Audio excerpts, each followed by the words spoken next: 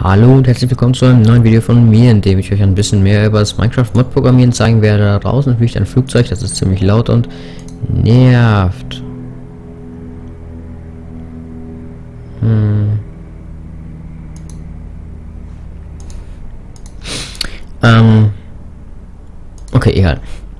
Ähm, ja, öffnen wir jetzt erstmal das Package, gehen wir in die Main und äh, ja. Äh, vielleicht soll ich erstmal erklären, was wir in diesem Tutorial überhaupt machen. Und zwar haben wir in einem der letzten Tutorials eine tolle Rüstung erstellt hier. Ähm, ja, wollen wir erstmal uns das Ganze in-game in angucken. Dann werden wir gleich folgendes feststellen.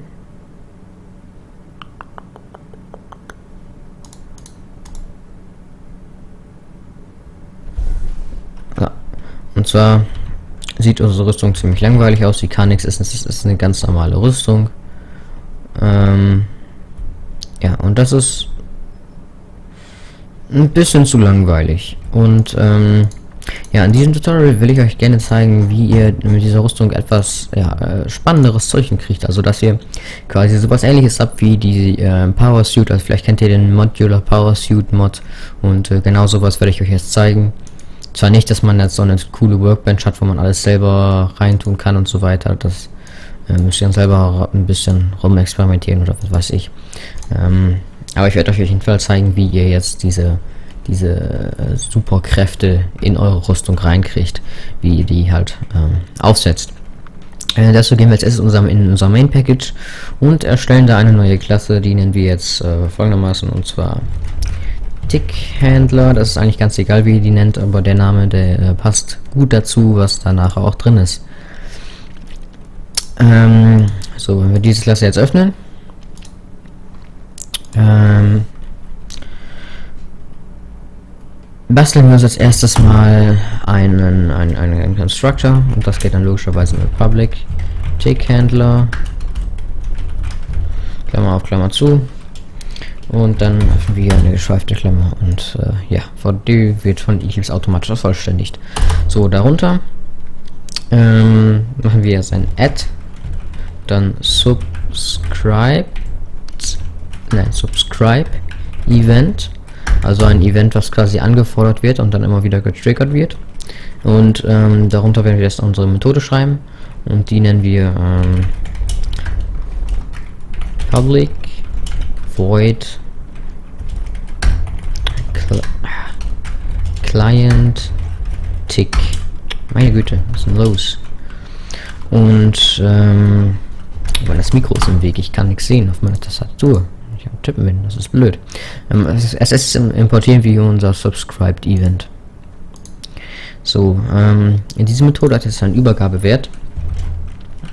Und, ähm, ja, den nehmen wir jetzt, also, den ruft er auf mit Tick Event.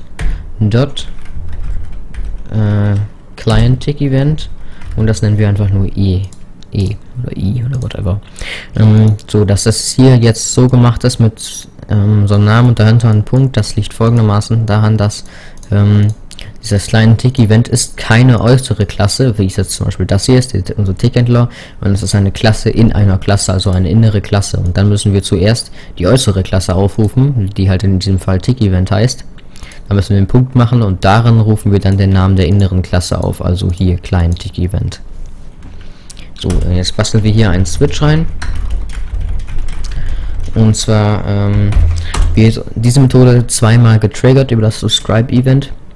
Und zwar einmal, wenn, ähm, wenn, wenn der Tick initialisiert wird, also ganz am Anfang des Ticks und einmal ganz am Ende des Sticks. Und äh, wir wollen halt nicht, dass unsere, dass unsere, unsere spätere Methode zweimal getriggert wird. Also, dass die nur einmal getriggert wird. Und deswegen äh, filtern wir das REM raus und das können wir machen mit unserem E-Event. Und dann können wir die Phase rausholen, also die Phase, in der sich der Tick gerade befindet. Äh, dann machen wir hier einen Case-File und dann ist das einmal der Fall Start, was ein enum ist, und einmal der Fall End. Logischerweise. So, ähm. Äh, ja, und damit wir hier nicht alles äh, in, diese, in diesen Switch rein programmieren müssen, mache ich jetzt einfach mal eine neue Methode. und die nenne ich äh, private void äh, könnt, könnt ihr nennen wie ihr wollt eigentlich tick start Klammer auf Klammer zu und private void tick and ist eigentlich egal so bei start ruft ihr logischerweise tick start auf und äh, macht dahinter einen break ein Semikolon ähm, und hier ruft ihr logischerweise take end auf macht hier wieder ein Semikolon hinter und break so, was jetzt Breakers bedeutet, ist einfach, ähm, oder ich erkläre einfach mal jetzt Switch. Ich weiß gar nicht, ob ich überhaupt noch überhaupt schon Switches erklärt habe. Ähm, okay, äh, ein Switch äh, wird halt mit hat halt im Head, also im, im Kopf, ähm, halt diesen Befehl Switch stehen, womit der Switch halt initialisiert wird. Dahinter hat man in, äh, in, in runden Klammern stehen, ähm, was geswitcht werden soll. Also ähm, das kann ein Variablenwert sein, und ähm, ja, da kommt da nur ein einziger Wert rein. Da kommt keine, keine Bedingung rein, sondern ein Wert. Dann hat man danach halt noch eine geschweifte Klammer offen und dann kommen darin halt diese Case-Fälle.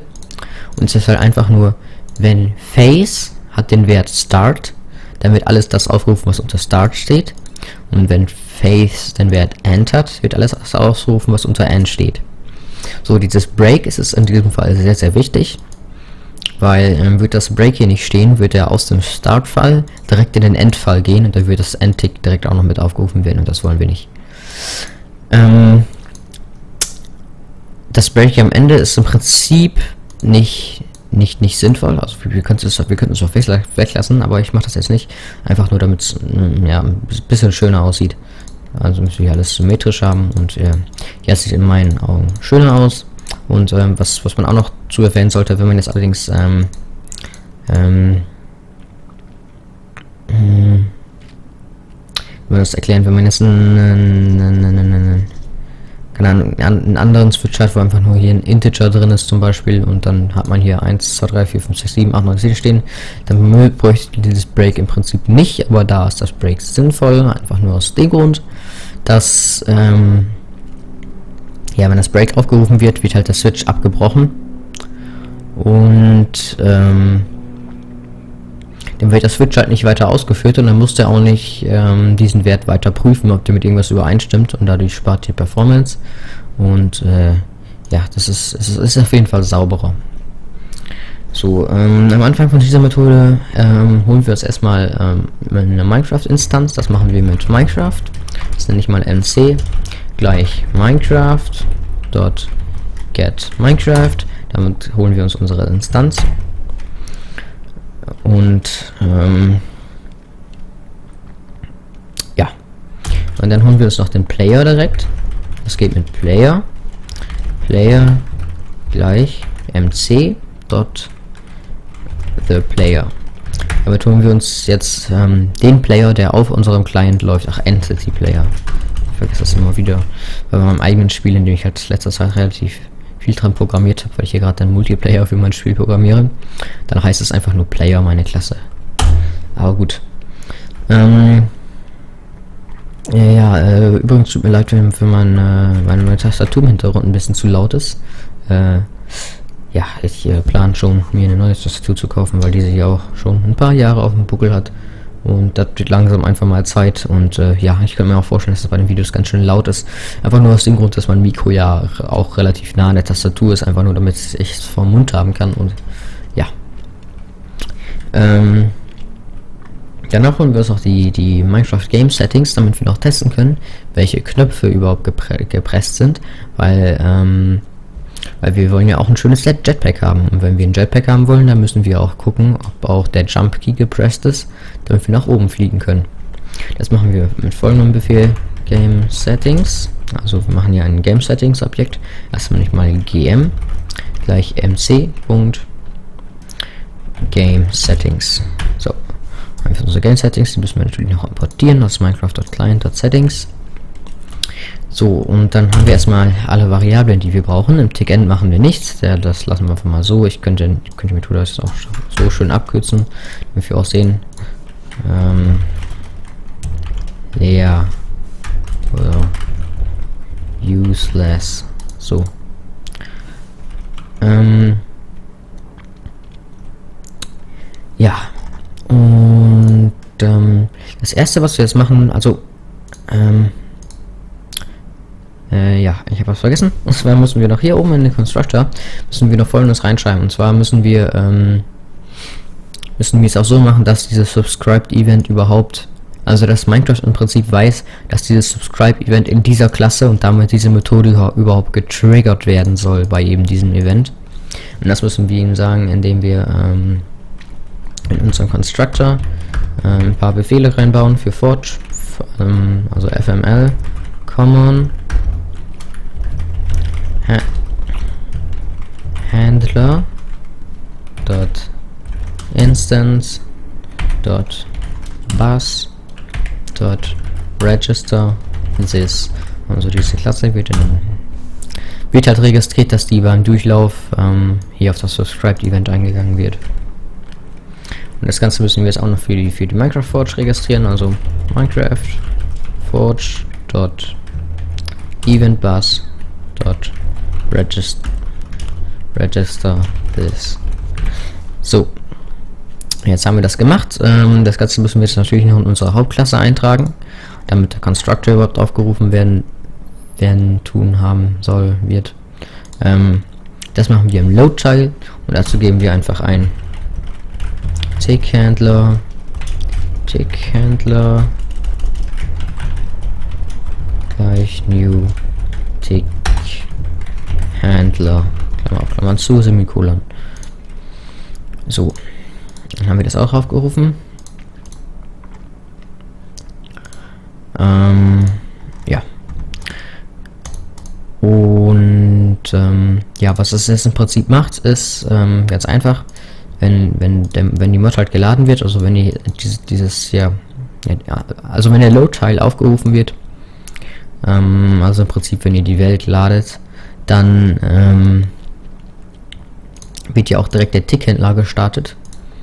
Also wird hier auf das Subscribe Event eingegangen und dann wird diese Methode an jedem Tick, an jedem Game Tick, client-lastigen Game Tick ausgeführt. Das heißt, äh, ja, für jeden Tick wird einmal diese Methode ausgeführt. Und ähm, ja, am Anfang des Ticks testen wir halt ähm, auf diese Methode.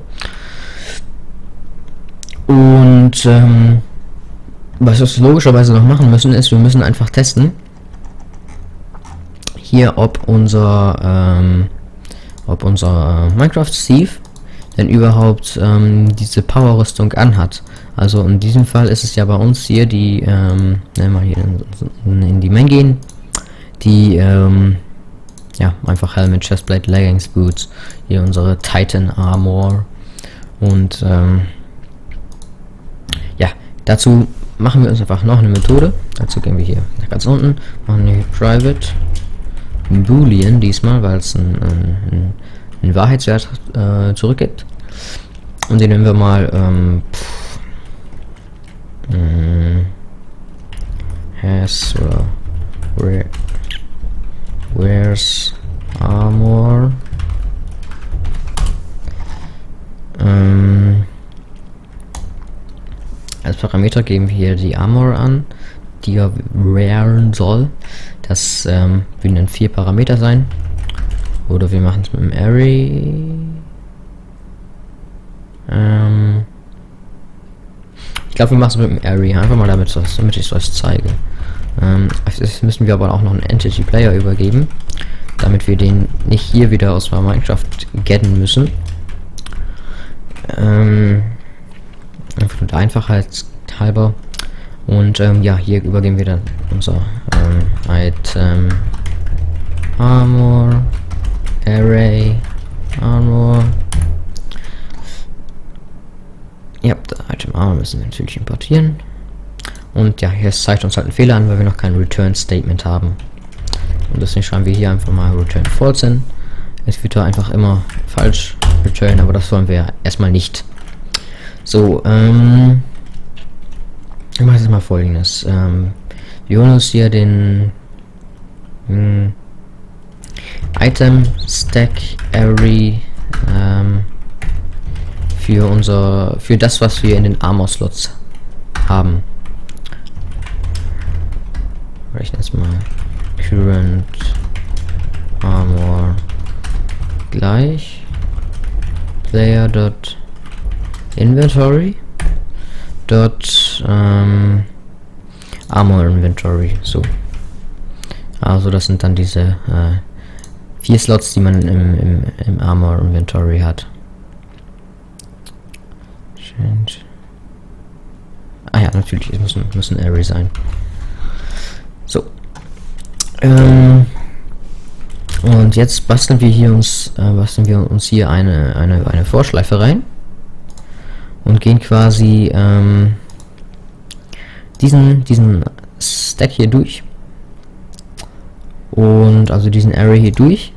Und ähm, ja, prüfen halt, als ob in jedem Slot, den der, der, der Spieler halt hat, wirklich das Item drin ist, was er haben soll. Also in unserem Fall unsere komplette Rüstung. Ähm, dazu machen wir hier eine Vorschleife, also vor erstmal, Klammer, geschäfte Klammer, ach, runde Klammer auf, runde Klammer zu und da reinschreiben wir int i gleich 0, solange i kleiner ist als current armor dot length semikolon i plus plus. So, ich glaube, die Vorschleife habe ich schon genügend erklärt in meinen Tutorials. So, und ähm, jetzt prüfen wir auf folgendes, und zwar if current armor i ist gleich, ähm, nein, ist, ist erstmal nicht gleich null. Also erstmal gucken, ob er nicht, nicht null ist. Und danach gucken wir, if äh, current Armor. Ähm, Punkt. Get. Nein schön Armor i. Punkt. Get. Item. Ist gleich Armor i. Punkt. Get. Item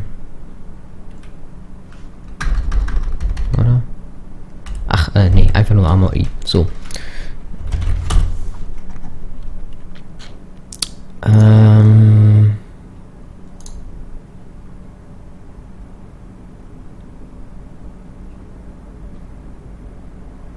Nee, warte mal, das machen, das machen wir anders. Nee, das macht keinen Sinn, was ich gerade gemacht habe.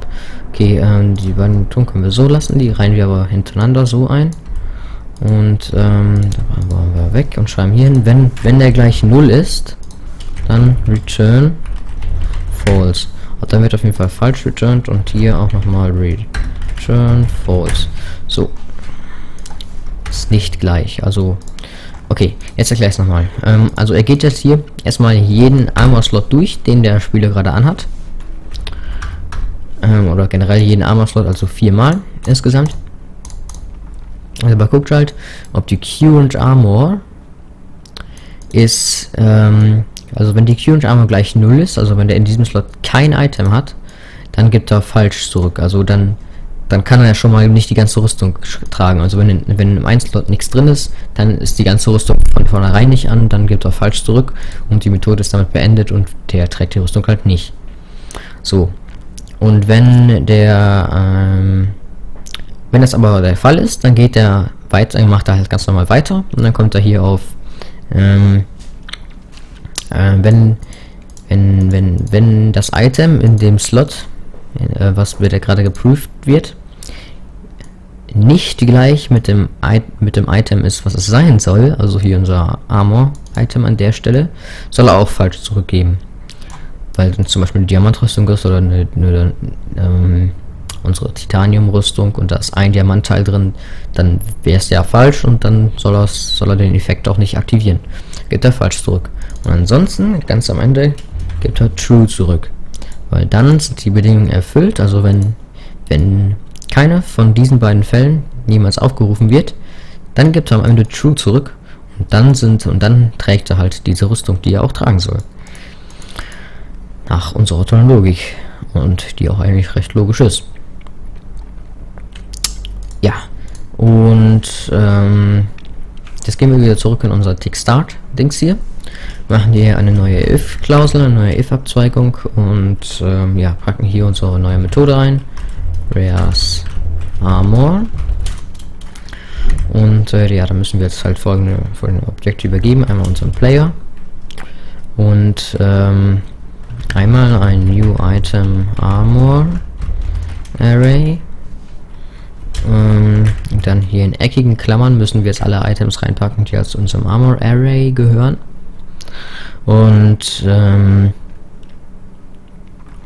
ja, da gehört halt jetzt. Lassen wir jetzt eben gucken. Und zwar, ähm, wenn der hier 0 ist, dann sind hier die äh, Füße gemeint. Also der, der, der, der, äh, der Helm ist 3, die Chestplate ist 2, die, äh, die, die Hose oder die Beinschoner, Bein, Bein Protection ist 1 äh, und die Schuhe sind halt 0. Wenn die Schuhe hier 0 sind, ähm, dann soll die Rüstung an der Stelle logischerweise auch 0 sein. Also ähm, 0, also der erste Parameter sollten auf jeden Fall die Schuhe sein. Und dann gehen wir hoch bis zur Rüstung. Ja, bis, zu, bis zum Helm. So, und ähm, also schreiben wir als erstes hier rein unsere Main-Klasse oder wie immer auch immer eure Main-Klasse heißt. Und das unten und ganz unten halt erstmal die Boots. Dann macht den Komma. Dann äh, zeigt uns einen Fehler an. Hm. Ach genau, das sollten wir vielleicht zu... Wie heißt unsere Klasse da? Item Titan Armor. Also unser Item Titan Armor Object.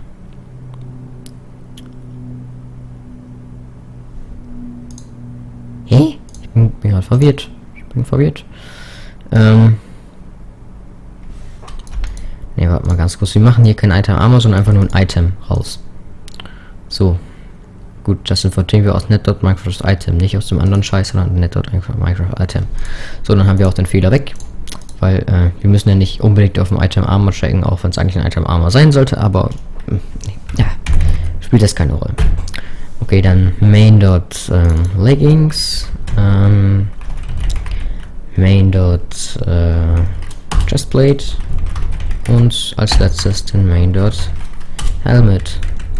So, dann ähm, wieder unsere Klammer auf Klammer zu. Und ja, was jetzt passieren sollte, dürfte klar sein. Also unsere Methode hier wird aufgerufen mit diesen Parametern hier. Und dann checkt halt, aha, ähm, im, im nullten Slot habe ich hier ähm, meine Titanium Boots, ähm, also das ist nicht gleich 0, also gehe ich weiter, okay, ähm, meine Titanium Boots habe ich hier. Und ähm, hier habe ich auch meine Titanium also äh, die, die, ich sollte auch Titanium Boots tragen, also ist das ja auch nicht der Fall. Okay, dann gehe ich einfach mal in die nächste Schleife. Okay, dann habe ich hier ähm, ja, eine, eine, Diamanthose. Die ist nicht gleich 0. Okay, gehe ich weiter. Okay, meine Diamanthose ist aber nicht gleich dem Item, was ich an der Stelle tragen soll. Also hier meine Titaniumhose. Deswegen sage ich hier falsch. Und damit wird diese Methode hier beendet. Hier wird falsch zurückgegeben. Die if und alles, was hier in der if-Klausel steht, wird dann nicht mehr aufgerufen. Okay, ähm, das dürfte jetzt, glaube ich, klar sein. Und jetzt machen wir uns eigentlich an den, an den interessanten Part und an den Part, an dem ich persönlich ziemlich lange ge gebraucht habe, daran rum zu experimentieren, einfach nur weil es relativ kompliziert war. Oh, oh, oh eine wichtige Sache habe ich vergessen. Mm. Und zwar kommt diese ganze if-Klausel, die muss nämlich noch eine zweite if-Klausel, und zwar if Player ist nicht gleich 0. Weil, ähm, Ticks starten schon, bevor der Spieler überhaupt initialisiert wird. Und deswegen ähm, ist das für die allerersten Ticks, wenn die Welt geladen wird, ist der Player halt gleich 0. Und wenn ihr dann versucht, aus dem Player irgendwelche Objekte rauszukriegen, wie wir es hier in dieser Methode machen, dann stürzt euer Minecraft ab. Und das wollen wir ja tunlichst vermeiden. So, ähm... Ja, ich bin wie immer ziemlich unvorbereitet, aber gut, nein, eigentlich bin ich nicht unvorbereitet, aber äh, ich, ich bin immer so im Programmieren wenn ich das zeigen und auf einmal fällt mir ein, oh, das könnte man ja so machen, dann wäre das viel schöner und so. Und dann zeige ich es. Will natürlich euch den besten Weg zeigen, wie das zu programmieren. Und ja, dann äh, experimentiere ich schon mal im Video ein bisschen rum. Okay, ähm, als nächstes setzen wir hier unseres Player.StepHeight ähm, einfach mal. Und die setzen wir gleich ähm, 1.2. Dann kann unser Spieler nämlich einfach 1.2 äh, float. Dann kann unser Spieler nämlich einen Block hohe oder über einen Block hohe Gegenstände hochlaufen. Also das 2 habe ich jetzt einfach nur hingeschrieben, damit er auch ähm, Blöcke, ganze Blöcke hochlaufen kann, wo einfach Schnee liegt. Also vielleicht kennt ihr es auch von einer, von einer Modular Power Suit, wenn ihr da durch die Gegend rennt, Fullspeed und äh, das äh, nötige Upgrade dazu habt, dann müsst ihr bei, dann bleibt ihr nicht mehr an jedem Block hängen und müsst an jedem Block, springen, sondern der macht es automatisch. Und genau das machen wir damit. Das ist ein ganz einfacher Aufruf, dürfte kein Problem sein. Also einfach nur das Player oder Step Height gleich 1.2 F. Okay. Als nächstes setzen wir äh, unseren Fly Speed ähm, das ist besonders im Creative-Modus wichtig, im, im Singleplayer ist er eigentlich überhaupt nicht wichtig. Capabilities und Set Flyspeed. Und den setzen wir auf ähm, 0.4f. Unser Flyspeed ist wirklich nur der Speed, wenn unser Spieler halt fliegt, also Fly. Ähm, hier setzen wir uns nochmal ein Double hin. Äh, I. Unser Double I ähm, gibt es einfach nur die, die Geschwindigkeit an, wie schnell sich der Spieler nachher auf dem Boden bewegen soll, beziehungsweise wie stark das Jetpack ist, wie schnell er beim Jetpack fliegt und so weiter und so fort. Okay, mh, mm, hier legen wir uns noch eine if-Klausel an. Das ist jetzt das erste Mal, dass wir auf unseren, unsere, unsere Game-Settings zugreifen, die wir oben angelegt haben. Also if gs. Ach, äh, wie habe ich das GM genannt? Game Settings natürlich GS hier oben. So, if gs. Punkt, ähm, Keybind. Ähm, jetzt könnt ihr euch irgendeinen Keybind aussuchen, die halt im Standard Minecraft drin sind. Und ich nehme jetzt einfach mal ähm, Sneak. Ähm, Punkt get is pressed. Also ob der Key gepresst ist. Dann soll i gleich sein ähm, 0,2 d weil das hier in einem Double-Wert angegeben ist, weil das hier, hier oben ein Double ist und kein Float, deswegen D und nicht F. Ähm, andernfalls, ähm, wenn gs.k binding äh, sprint ist pressed, also wenn der Spieler am Sprinten ist, ähm, dann soll i sein gleich äh, 0,7 d Also, ähm, natürlich, euer, euer Spieler wird auch so beim Sprinten schneller, auch wenn der es das nicht machen würde mit dieser Unterteilung. Aber ich habe es einfach mal so gemacht, einfach nur damit, ähm, ja, äh, das verhältnismäßig, also das Verhältnis zwischen Normallaufen und Sprint ohne Rüstung, das Verhältnis zwischen Normallaufen und Sprint mit Rüstung auch gleich ist oder einigermaßen gleich oder angepasst oder wie auch immer. Und äh, ja, ich fand das eigentlich so ganz nett in der Einstellung. Und hier ist das nochmal i gleich 0,5d. Das ist halt, also dieser letzte else ist halt die Geschwindigkeit beim normalen Laufen.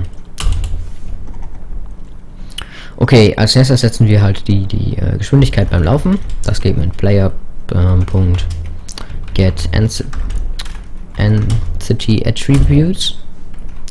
Ähm, hier greifen wir auf die shared monster attributes zu und hier auf den Movement Speed und da machen wir am Ende einen Punkt und zwar Set Base Value setzen wir dahinter und das setzen wir gleich mit i. So, als nächstes setzen wir ähm, ähm, den, den Walk Speed. Das ist jetzt folgenden Grund, und zwar, ich frage das mit Sicherheit, okay, ich habe deinen Movement Speed da schon gesetzt. Ja, das stimmt zwar, aber du hast den Movement Speed in, in den in Monster Attributes gesetzt, aber nicht für den Spieler. Und da du den extern aufrufst, wird er so auch nicht geupdatet. Und ähm, das bedeutet, dass, ähm, dass die Sicht verzerrt ist. Also wenn ihr jetzt so laufen würdet, vielleicht kennt ihr es bei diesen Speed Potions, aber wenn ihr euch eine Speed Potion gebt, dann äh, wird die Sicht ja auch so ein bisschen verzerrt, dann wird das, ähm, ja, ich habe ganz vergessen, wie man das nennt. Ähm, auf jeden Fall die Sicht wird verzerrt. Und ähm, den gleichen Effekt hättet ihr hier, hier auch, nur viel stärker. Und das sieht scheiße aus. Und deswegen setzen wir hier auch nochmal den Movement Speed. Dann äh, kompensieren wir das nämlich quasi Ähm, das geht mit player.capabilities.set player walk speed und ähm, jetzt können wir nicht einfach i angeben, weil er hier einen Float-Wert verlangt. Also casten wir i zu einem Float, also in Klammern Float und dann i. So, und ähm, ja, ähm, als nächstes gehen wir einfach mal auf unseren Jetpack ein. Und da muss ich jetzt ein bisschen spicken. Weil hier wird ein bisschen Mathe gemacht und Mathe im dreidimensionalen Raum ist schwierig, wenn man es so aus dem Kopf in einem Video machen will. Ähm, erstmal checken wir, ob unser Jump Key gepresst ist. Gepresst ist also ähm, im, im Normalfall die Leertaste. Ich werde euch noch mal irgendwann zeigen, wie ihr eigene Keybindings festlegen könnt, aber das macht in diesem Zusammenhang keinen Sinn, weil ihr könnt jetzt bei der neuen Forge-Version ähm, können keine Keybindings mehr gleich sein. Also ihr könnt jetzt nicht ähm, die Leertaste für euer Jetpack benutzen und auch für euren Sprint, wenn, wenn die Leertaste ein, ein eigenes Keybinding von euch hat. Weil dann würde nämlich nur die Leertaste für ähm, fürs Jetpack eingesetzt werden und nicht fürs normale Springen und das wird ziemlich kacke. So, ähm, wenn, wenn wir hier hm, unseren Jump Key gepresst haben, dann machen wir jetzt folgendes und zwar player. Ähm, move y, also unsere unsere Motion, äh, ähm, unsere Bewegung in die y-Richtung. Also ihr müsst euch das so vorstellen, ähm, Edith Entity in Minecraft hat äh, Motion X, Motion Y, Motion Z und halt eine Koordinate und äh, ja, alte Motion X, Motion Y, Motion Z und alte Koordinaten. Aber das ist jetzt in diesem Fall unwichtig.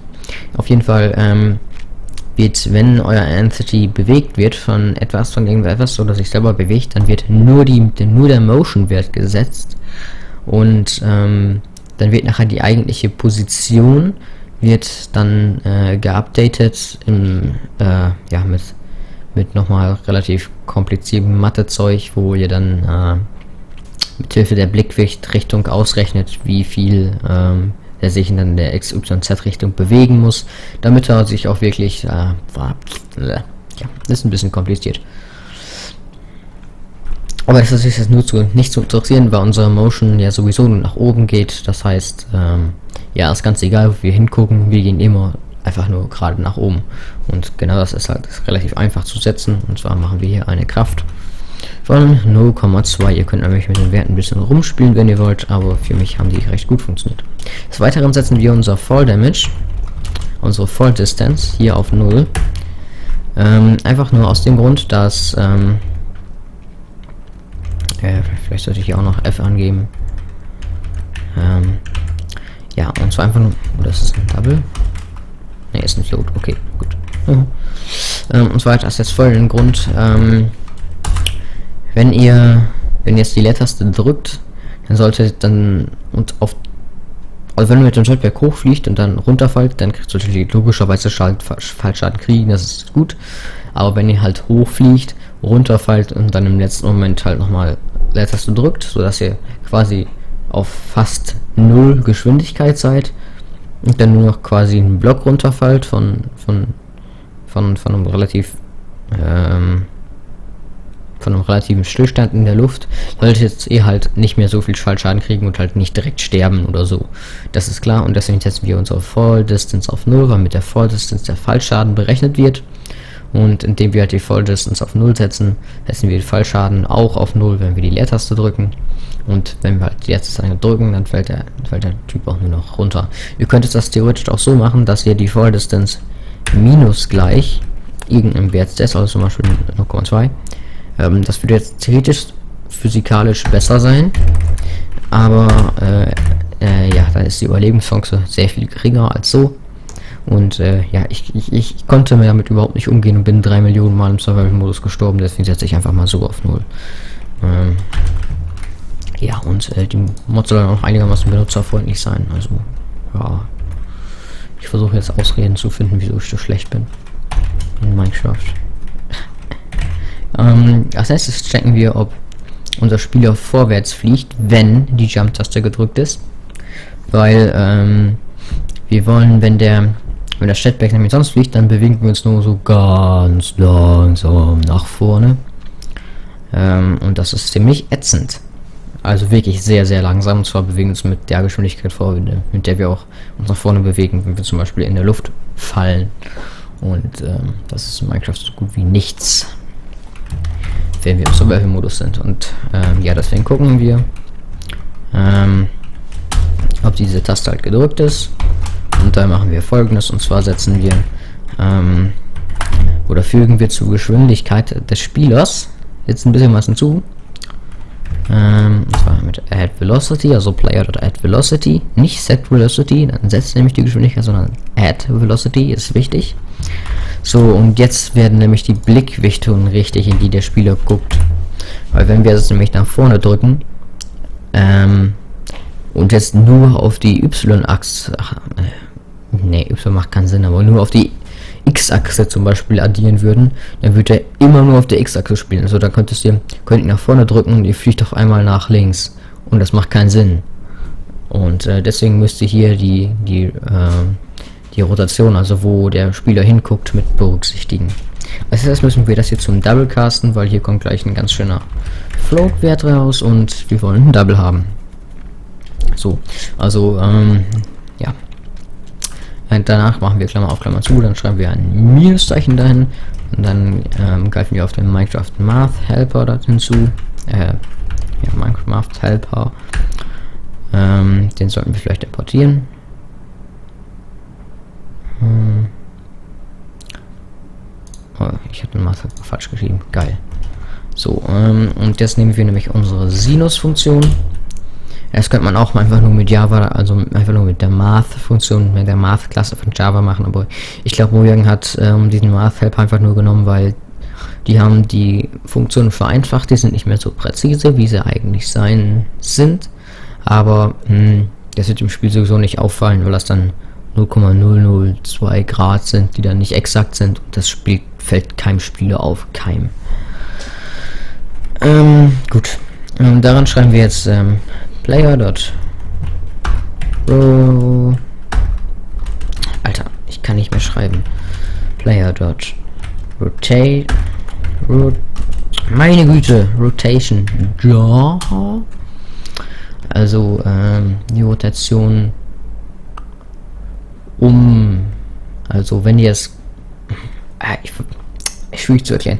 Wenn ihr jetzt die Y-Achse als Rotationsachse nehmen würdet, wäre das die Rotation Jaw. So, ich glaube, das ist am besten erklärt. Das ist besser. Äh, ist, ja, ich kann es nicht besser erklären. So, ähm, danach machen müssen wir wieder was casten und zwar diesmal Math, also auf die Hauptklasse von Java für Mathematik. Dot .b. Das ist also 3,14 irgendwas, schlag mich tot. Und das teilen wir durch ähm, 180 F und äh, ja, das Ganze multiplizieren wir dann nochmal mit unserer Geschwindigkeit, die wir hier auch wieder casten müssen. Also I. Ähm, ja, und ich will jetzt ähm, ach äh, genau, die muss noch äh, mal, ich hab die jetzt noch mal, mal 0,5 ähm, gedingst einfach nur als, als Basic-Wert, weil äh, ja, Basic-Wert und so. Ähm, da werde ich jetzt nicht weiter darauf eingehen, weil ja, äh, es, es, ist ein bisschen kompliziert. Ein bisschen. Und äh, dann wird das Tutorial einfach zu lang werden, wenn ich euch jetzt Vorträge über dreidimensionale Mathematik halten will, die ich selber nur im Ansatz verstehe, selber nur genug, um hier aber Minecraft zu programmieren. Ähm, ja, das ist irgendwann mal Mathe LK Oberstufenzeug. Da habe ich jetzt noch nichts mit am Hut. Aber bald. Leider. Obwohl, nee, Mathe ist eigentlich lustig. Lustig nicht, aber es geht. Ist nicht das schlimmste Fach. Rallye ist schlimmer, meiner Meinung nach. Aber gut. Darum soll es sich auch gar nicht gehen. So, ähm, jetzt nehmen wir uns mal, was wir vorhin geschrieben haben, in der, im ersten Komma, also hier, ich habe es nicht erklärt gesagt, aber hier muss ein Komma hin. Ähm, und kopieren das nochmal hier hin, außer das mit dem Unterschied, dass wir hier das Minus wegmachen und äh, setzen hier am Ende noch ein Semikolon. So, jetzt gleich erkläre ich es noch kurz, also das setzt hier die, die Bewegung in X, in X äh, Richtung fest. Das hier setzt die Bewegung in ähm, Y Richtung fest. Und das hier setzt die Bewegung in äh, Z Richtung fest. Genau. Mm, die Y-Dings, das hat jetzt damit nur, was zu tun, dass ähm, äh, wenn ihr hoch fliegt, dann und eben äh, euer Forward Key presst, dann fallt ihr auch schnell runter. Und wenn ihr tiefer fliegt, fallt ihr langsamer runter. Damit begrenze ich als Modder oder ihr dann halt, äh, ihr begrenzt dann halt die maximale Flughöhe, die ihr halt mit diesem schnellen, schnellen Flug hinkriegt, auf, auf knapp über dem Boden. Und äh, ja, Ihr könnt es natürlich wegmachen und einfach, wenn ihr jetzt den Null hinsetzen würdet, dann wird er einfach überhaupt gar keine Höhe verlieren, sondern immer nur Höhe zugewinnen durch euren ähm, wo ich hier? Äh, 0,2 F. Ihr könntet natürlich jetzt einfach nur äh, minus 0,2 F hinsetzen. Äh, dann würdet ihr quasi von der ganz normalen Gravitation runtergezogen werden. Oder äh, ihr probiert ein bisschen rum und schafft das dann, dass der Display irgendwie stabilisiert in der Luft rumfliegt. Ähm, ja, da macht ihr aber selber, da habe ich keinen Bock drauf. Es nämlich aus, Leute. So, jetzt machen wir folgendes. Zwar kopieren wir das hier, ähm, machen es hier runter und ändern Key Bind Forward, Back.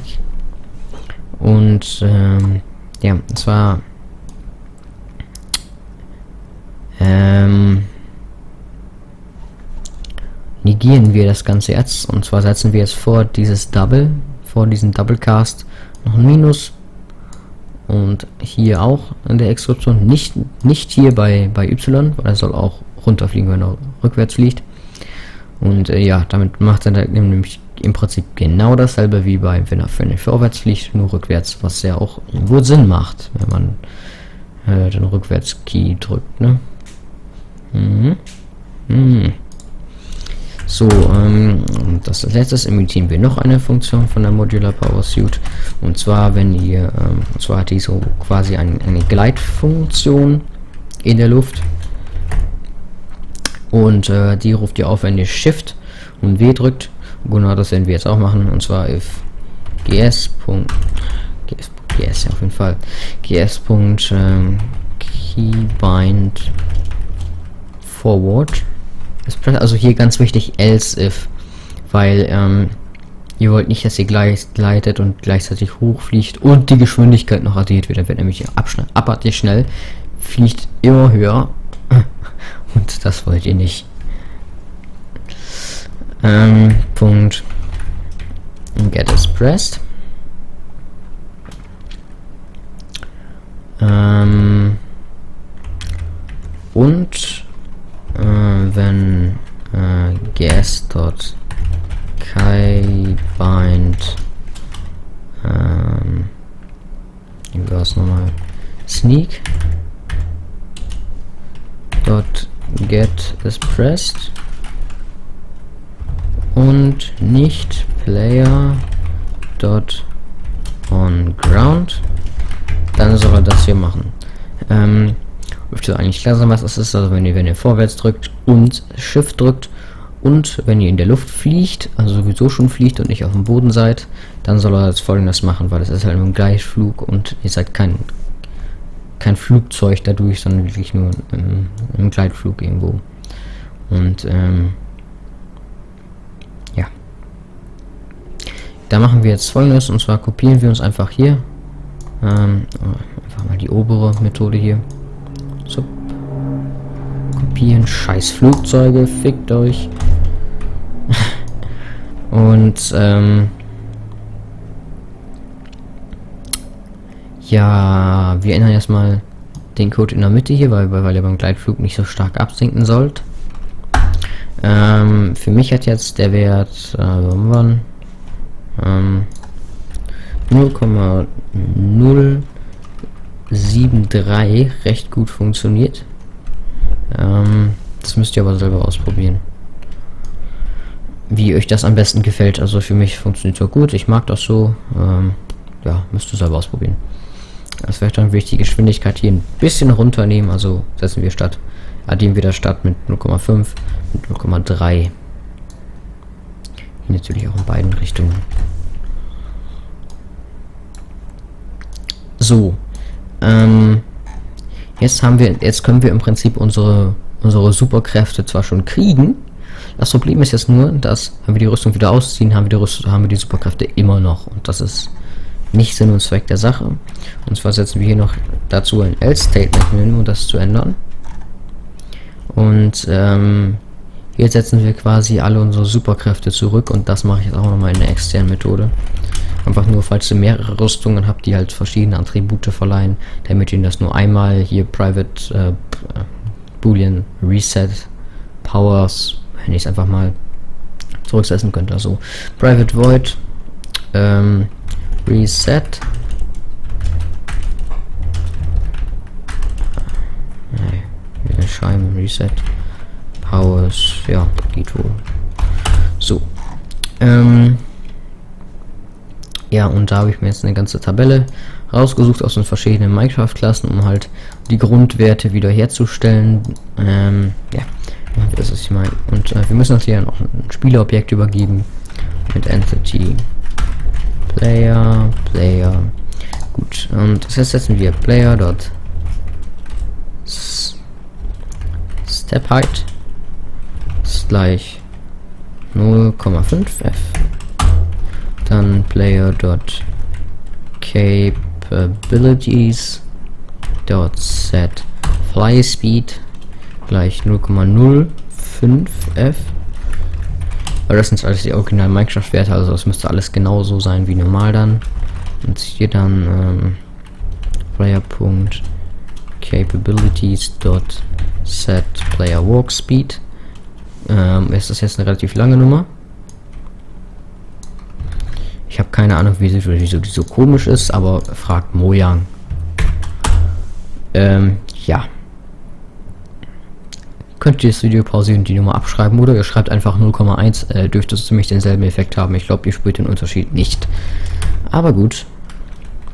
Dann player.get entity attributes. Ähm, wieder hier die shared monster attributes dot movement speed set base value ist wieder diese komische Zahl nur mit einem D dahinter statt einem F weil es hier ein Double sein muss hier wieder player.get entity attributes. Shared monster. Attributes. Dot. Ach nee gar nicht. Das hat nicht funktioniert. Ich habe nämlich versucht den attack damage zu setzen. Das hat aber nicht funktioniert. Ähm. Ja das ist das, war's das jetzt eigentlich schon. Ähm. Mit dem reset powers. Also müssen wir es hier nur noch reinschreiben. Reset Powers. So. Okay, ähm, speichern wir das eben. Wie das halt hier in Fehlern. Genau, wir müssen noch den Player übergeben. Okay, hier nochmal speichern. Dann dürfte hier kein Fehler mehr sein. Okay, kein Fehler wird angezeigt. Dann können wir einfach auf den schönen grünen Play-Button drücken. Und Minecraft sollte starten.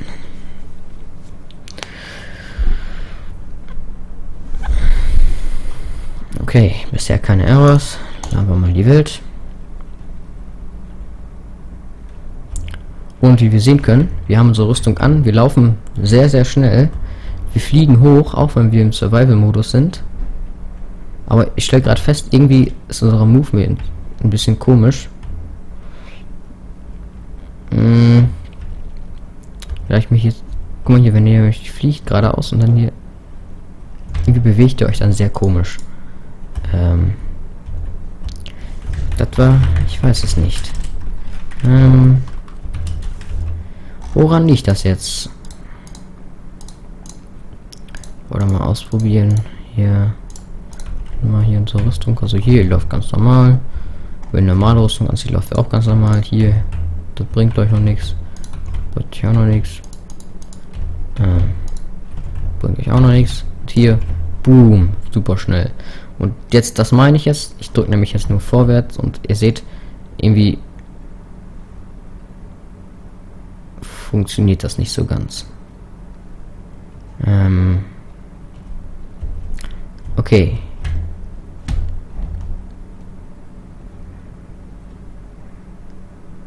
Okay, ansonsten funktioniert.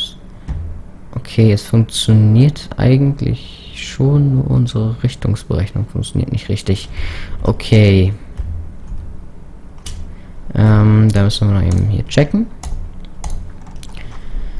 Äh, vergleiche ich nochmal hier mit meinen Werten. Hm. Hab ich mich denn hier irgendwo verschrieben?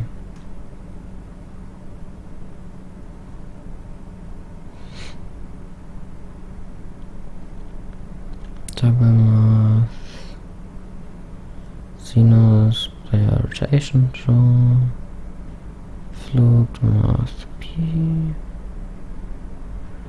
Mal Float no. Hm.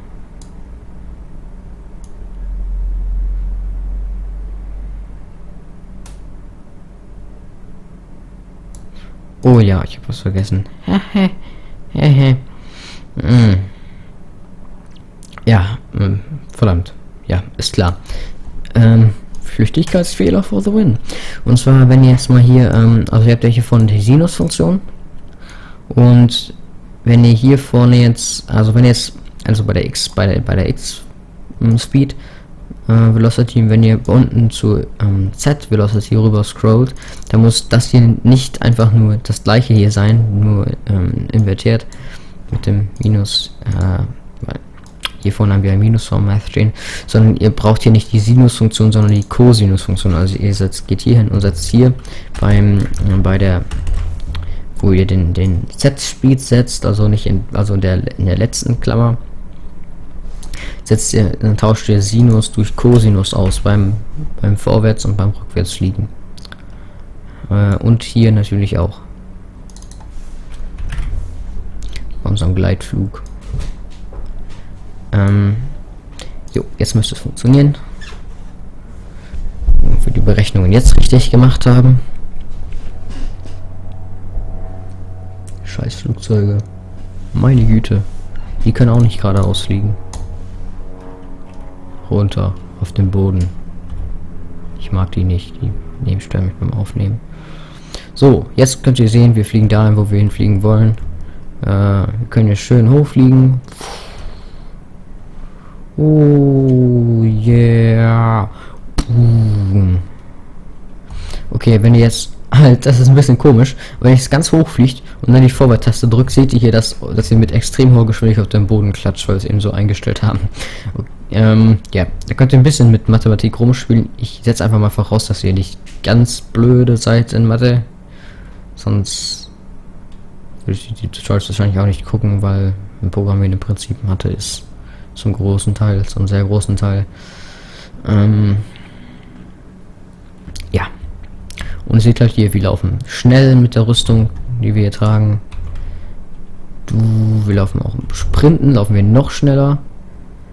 Ähm, außer dass diese Sprint-Animation, wenn wir hier. Also ihr seht hier, der wackelt hier erst vor und dann wieder zurück. Das ist hier, weil wir, weil wir nochmal den Player Speed setzen, damit wir nicht dieses. Damit das hier nicht so ver verzieht. Wischt da was ich meine, ne?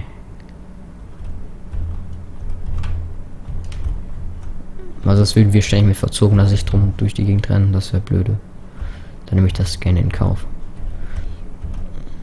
So, und wir haben hier halt ein schönes Jetpack, was nicht einfach nur normal fliegen ist, sondern immer wenn die Leertaste drückt, werdet ihr ein bisschen hochgepusht. Und äh, ja, ja, ein Jetpack, ihr könnt verdammt schnell fliegen. Mit dieser Modifikation, ein Gleitmodus, hier ist auch drin. Ich kann jetzt mal Shift und W drücken. Ui. Dann gleiten wir schön durch die Gegend und sinken langsam und gleichmäßig zu Boden.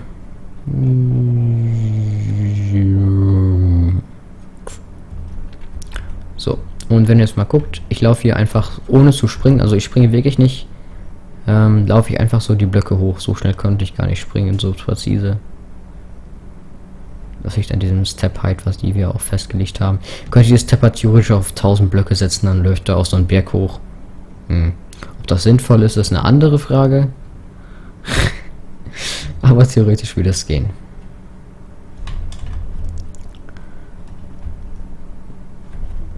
Ähm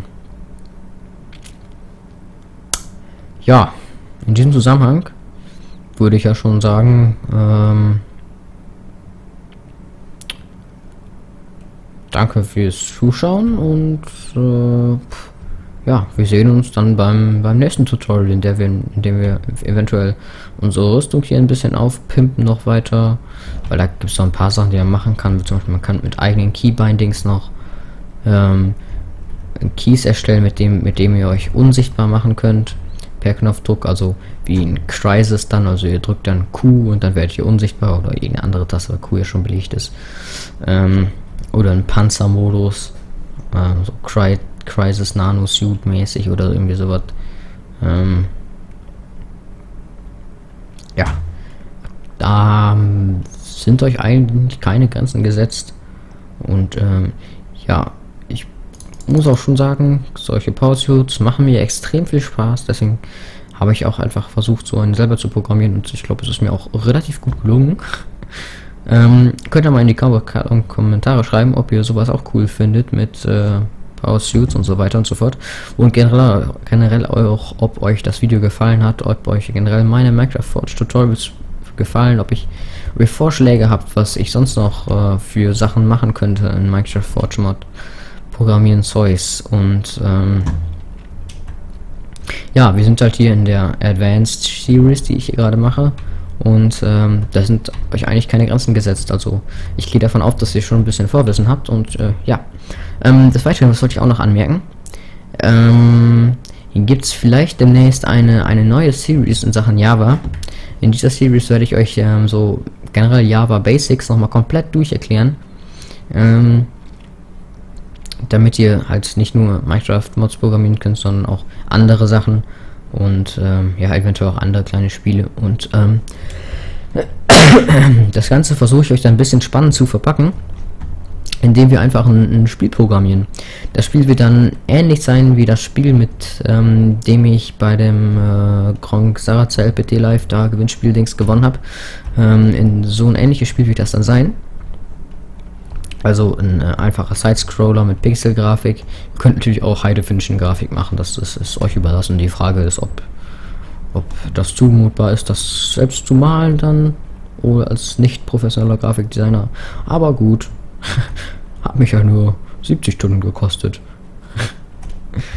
Dann Spiel. Äh, ja, das hat wirklich, war sehr anstrengend. Aber es hat sich gelohnt.